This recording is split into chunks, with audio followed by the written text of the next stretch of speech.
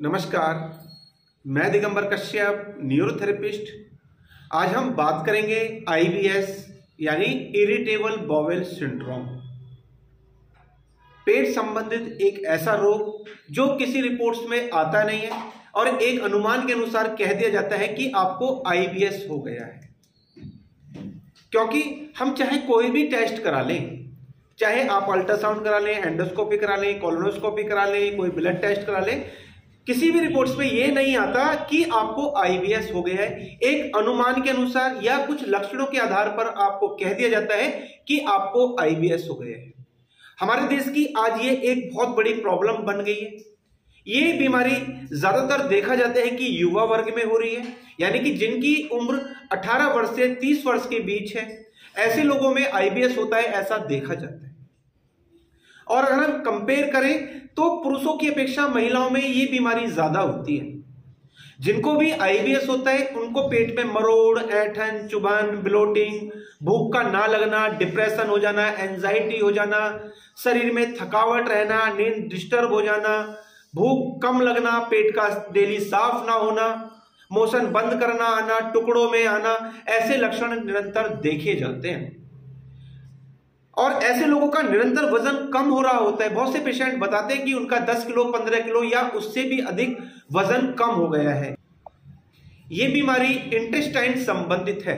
यानी कि हमारी जो लार्ज इंटेस्टाइन है, वो इससे सबसे ज़्यादा प्रभावित हो रही है। लार्ज इंटेस्टाइन की जो मूवमेंट है, वो ठीक प्रकार से नहीं हो रही होती है। इसमें एक प्रोसेस होता है, जिसे हम पेरिस्टाल्टिक मूवमेंट के नाम से जानते हैं। यानी कि एक जिग मूवमेंट हो रही होती है, जैसे हिलोरे उठ रही होती है। यानी कि उसका काम होता है, जो भी हमने खाना खाया, वो इंटेस्टाइन के रास्ते होते हुए मल के द्वारा हमारी बॉडी से बाहर निकलना चाहिए।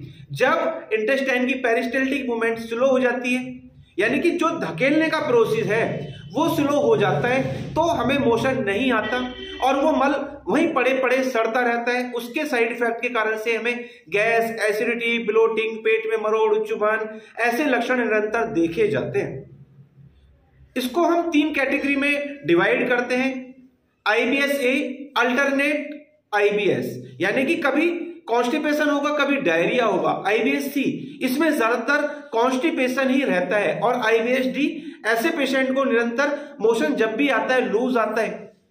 ऐसा होता है आईबीएस ये ज़्यादातर उन लोगों को होता है जो वज़न का काम ज़्यादा करते हैं, यानी कि अपनी कैपेसिटी से ज़्यादा वो वज़न उठाते हैं। जिम जाते हैं या कोई उनका जॉब इस प्रकार की है जिसमें उनको निरंतर वज़न उठाना पड़ता है। उसके कारण से उनकी इंटेस्टाइन प्रभावित होती है और आईबीएस बीमारी हो जाती है। या ये बीमारी उन लोगों को ज़्यादा होती है जो बाहर का खाना ज़्यादा खाते हैं, मिर्च मसाले ज़्यादा खाते हैं तला हुआ ज़्यादा खाते हैं, मैदा से बनी चीज़ों का ज़्यादा सेवन करते हैं स्मोकिंग ज़्यादा करते हैं ड्रिंक ज़्यादा करते हैं। किसी प्रकार की उनको डिप्रेशन रहता है, उनको एंजाइटी रहती है।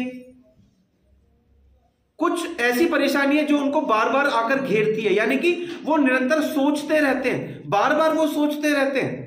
जिसके कारण से उनका पूरा डाइजेस्टिव सिस्टम प्रभावित हो जाता है, जिसके कारण से उनकी इंटेस्टाइन भी प्रभावित होती है और इंटेस्टाइन का जो मूवमेंट वाला प्रोसेस है पेरिस्टेल्टिक मूवमेंट है, वो स्लो हो जाती है और उनको आईबीएस की प्रॉब्लम हो जाती है। ऐसा होता है आईबीएस अब पेशेंट डॉक्टर के पास जाता है, वो सोचता है कि मैं डॉक्टर के पास जाकर ठीक हो जाऊँगा।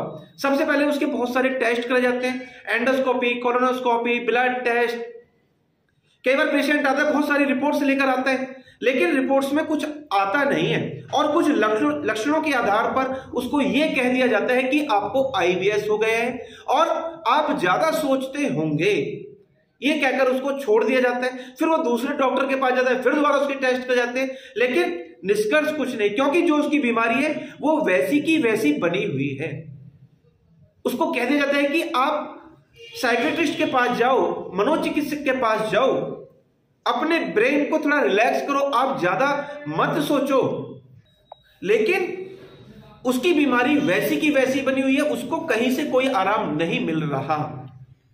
क्योंकि ऐसी कोई मेडिसिन नहीं है, ऐसा कोई टेस्ट नहीं है, जिससे आईबीएस ठीक हो सके।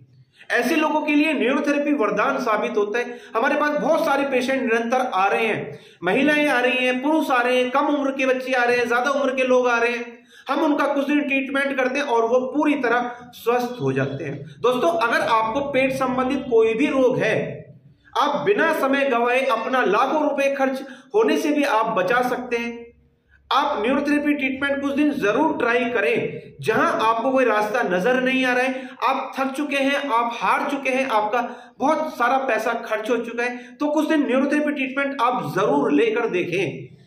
ये ट्रीटमेंट ऐसा है जिसमें ना कोई मशीन, ना कोई दवाई, ना कोई साइड इफ़ेक्ट हम आपके सिस्टम पर काम करते हैं, हम आपके डाइजेस्ट सिस्टम को प्रॉपर ठीक करते हैं। जब आपका डाइजेस्ट सिस्टम प्रॉपर ठीक हो जाएगा इंटेस्टाइन की पेरिस्टल्टिक मूवमेंट ठीक हो जाएगी, आपका प्रोसेस ठीक प्रकार से वर्क करने लगेगा, आपका पेट डेली साफ़ होने लगेगा, आपके माइंड पर जो प्रेशर बना हुआ है, वो वहाँ से रिलीज़ हो जाएगा तो निश्चित ही आपकी आईबीएस की समस्या हमेशा के लिए ठीक हो सकती है, बहुत कम खर्चे में आप हमेशा के लिए स्वस्थ हो सकते हैं और आप पहले की तरह अपना जीवन व्यतीत कर सकते हैं। ऐसे लोग खाना खाकर उल्टा ना लेटें। बहुत से लोग कंप्लेंट करते हैं कि मैं खाना खाकर उल्टा लेटता हूँ, मेरी दिक्कत बढ़ जाती है। तो दोस्तों, आपको उल्टा लेटना नहीं है जब आपने खाना खाया हो। यानी कि क्या करा आपने खाना खाया और हम लेट गए उल्टा? तो उससे आपको दिक्कत हो सकती है। आप पानी ठीक मात्रा में पिए, आप मिर्च मसाले, तला हुआ ये सब खाते हैं, इसको तुरंत बंद कर दें। आप मैदा से बनी चीज़ों को बिल्कुल हंड्रेड परसेंट अवॉइड कर दें। राजमा छोले, उड़द की दाल, मिर्च मसाले, cold drink pizza, burger, chowmein, ये जो चीज़ें ये आपको तुरंत बंद कर देनी चाहिए। नॉन वेज आप लेते हैं तुरंत छोड़ दो। हंड्रेड परसेंट कुछ नहीं कुछ दिन आपको बंद करना ही पड़ेगा। पानी कम पीते, पानी की मात्रा को बढ़ा दो दस से ग्लास पानी आप डेली पिए। तो निश्चित ही आपकी आईबीएस की समस्या हमेशा के लिए ठीक होने वाली है। दोस्तों, उम्मीद करता हूँ, वीडियो आपके लिए बहुत इंफॉर्मेटिव होने वाली है। और आप जो अपने पेट से काफ़ी लंबे समय से पीड़ित थे, आज आपको एक आशा की किरण भी अवश्य ही नज़र आ गई होगी। दोस्तों, आप अगर हमारे वीडियो को पहली बार देख रहे हैं, हमारे चैनल को सब्सक्राइब ज़रूर करें, वीडियो को अधिक से अधिक शेयर करें, वीडियो को लाइक करना ना भूलें और बेल आइकन बटन ज़रूरी दबा दें, जिससे कि जो भी वीडियो फीचर में हम बनाए, उसका नोटिफिकेशन टाइम टाइम आपको मिलता रहे। धन्यवाद।